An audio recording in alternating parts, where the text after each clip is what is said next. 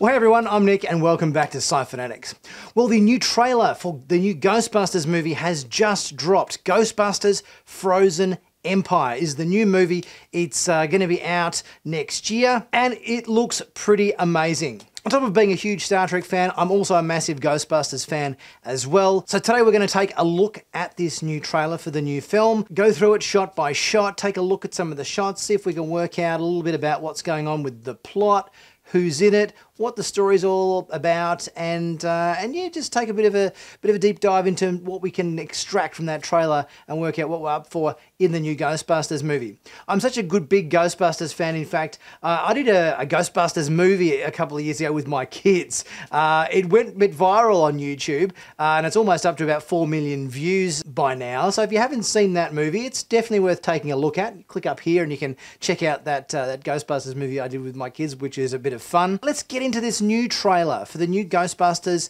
Frozen Empire movie. Have a look at that, and, uh, and as we go, we'll chat about uh, yeah, just what exactly we're seeing in the trailer and what we're up for in the new movie.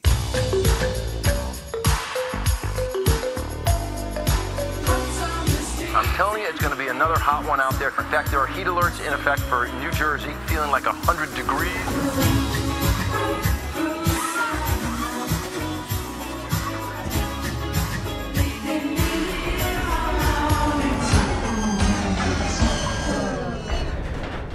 Well, the trailer starts off with an 80s track by Bananarama called Cruel Summer, which is a track from 1984, which is obviously the same year that the original Ghostbusters movies came out into cinemas. So I love that kind of retro 80s feel. New York City, it's fantastic. uh, there was something missing about the last Ghostbusters movie that was set in the country that kind of just felt to me like we were missing a, a, a, an ingredient of, of Ghostbusters. And I think that New York City environment is what Ghostbusters is at its heart. So it's great to see that New York is back uh, as the setting for this new film. It's the middle of summer, there's a bit of a heat wave going on. We're getting clips from people in the street, and it definitely seems looking at the cars on the street, this is set present day. We're set this film in 2023, but there's certain 80s sensibilities that are in this trailer. People, the, the t-shirts and, and clothes that they're wearing, the girls on the beach, there's a definite kind of 80s flavour to this, despite it being set present day, which I think is fantastic. What is that?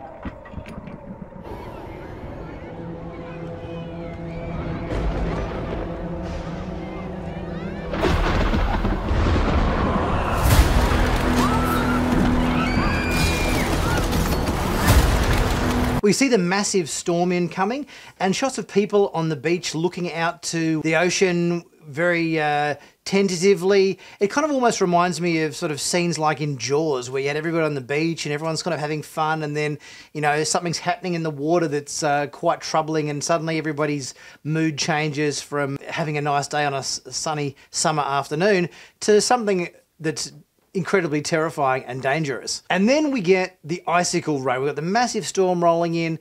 And storms are always in Ghostbusters associated with some, you know, very powerful uh, ghost spirit like, you know, Gozer and everything with that massive storm cloud that uh, was in the first film.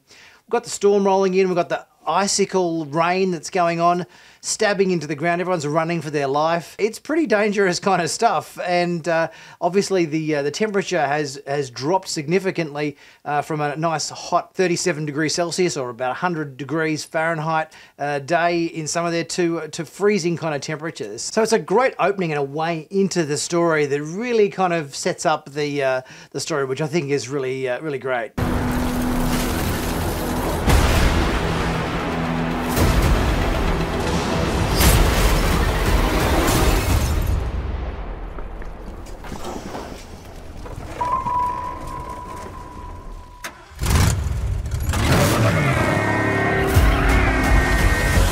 We've got the ice spears punching up through the ground, lifting cars off the road. It's like an earthquake rippling down the street of New York right up to the front door of Ghostbusters headquarters as all of the ground freezes over and we see that Ghostbusters firehouse, the iconic Ghostbusters firehouse. And we get those three little high pitched piano notes that do do do to indicate there's something creepy going on. Classic Ghostbusters score, Elmer Bernstein style. So cool. And then we get Ecto 1 doing a, a screaming U turn in the middle of the street. Obviously, the call has gone out. There's something strange in the neighborhood, and who you're going to call. We all know who.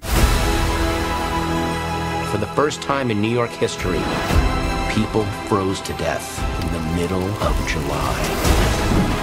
What is it? The death chill. The power to kill by fear itself.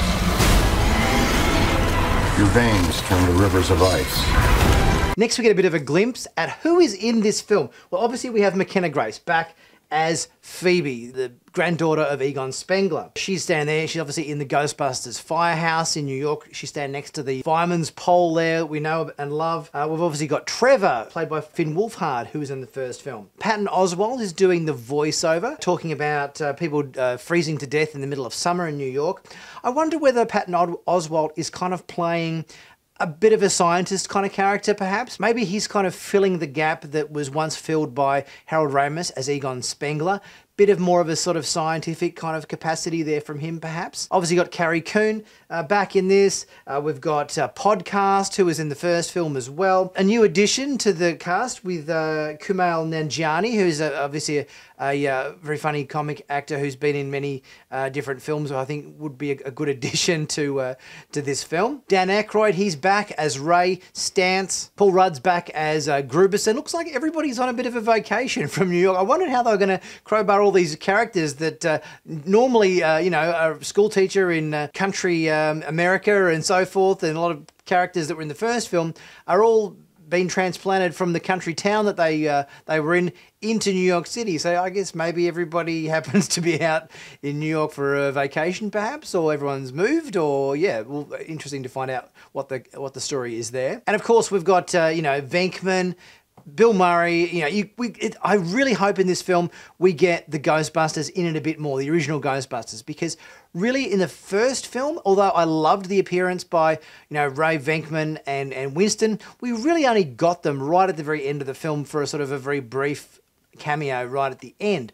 I kind of thought uh, in that first film they were going to have more of a presence, a bit more like how when um, say uh, Spider-Man uh, No Way Home came out, we had more of a active presence by uh, you know uh, Andrew Garfield and Tobey Maguire involved in the plot for that film.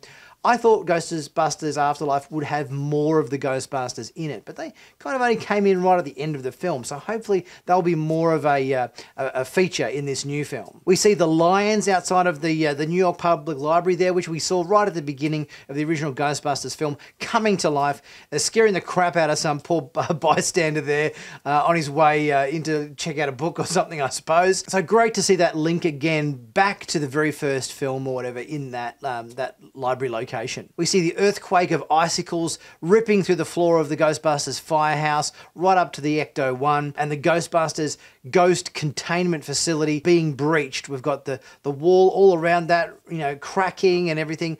So it seems like uh, if there's anything being held in that uh, containment facility, it's not going to be in there for too long based on the damage that's being done to the building and also New York. Your bones crack.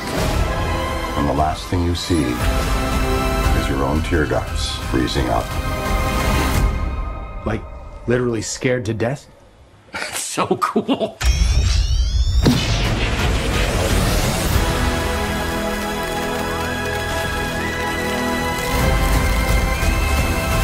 We see a ghost of some kind, I think, uh, plugging, looks like they're plugging something into their brain. Maybe not a ghost because it looks solid, but certainly uh, possibly uh, some kind of statue or some sort of physical form, a bit like the Terror Dogs or whatever.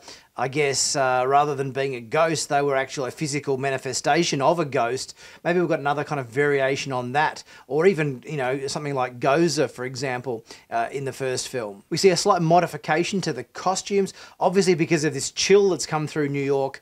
Uh, everything is freezing cold, so we've got a modification to some of the Ghostbusters uh, uniforms. Uh, they've now got kind of turtlenecks and wearing gloves and everything. We see these red uh, parka jackets or whatever as well that seem to be a, a new addition to the outfit. We see Kumail Nanjiani's character opening up some hidden door. It looks like the, the back of a, a cupboard or something. Uh, he's opening it and there's sort of gold trim and ornate things on the wall as if it's some sort of secret ancient hidden vault that they've uncovered, which, uh, you know, looks really interesting, uh, like some ancient crypt or worshipping temple that's hidden in some back of some building in New York from, from you know, a hundred or 200 years ago, perhaps. So I'm sensing there's going to be a whole new mythology wrapped up in whatever ghost is attacking New York City uh, in this film. We see Lucky, uh, she's getting frozen by the, um, the sudden cold snap that's coming in there uh, as a narrated by uh, Patton Oswalt in terms of the effects of, of what actually happens during, I guess, the presence of this entity. And we see Trevor firing off a, uh, a proton stream there in one of the last shots of this trailer.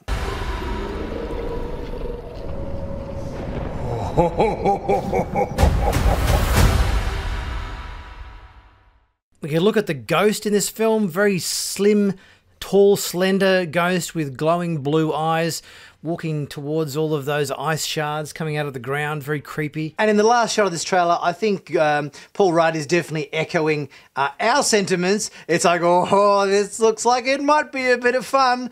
Uh, so uh, he's chuckling there. We've got Trevor and uh, and Phoebe and Carrie Coon's character, I think it's Callie, and Grooberson, all uh, in Ghostbusters garb with uh, with the Ghostbusters tech as well.